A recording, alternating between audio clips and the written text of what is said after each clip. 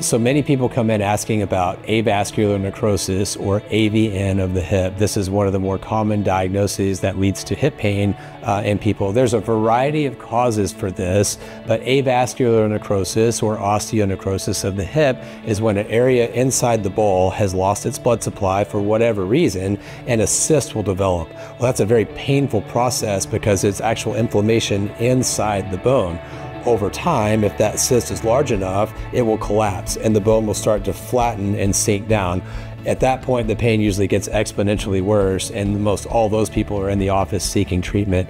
There are many options for treating this condition, regardless of the cause. Sometimes we can do more conservative things like injections. Sometimes there are minor procedures where we can decompress the cyst on the inside of the bone and provide pain relief as a worst case scenario, if it's too far advanced, some of these people need to go on and have hip replacement for permanent treatment.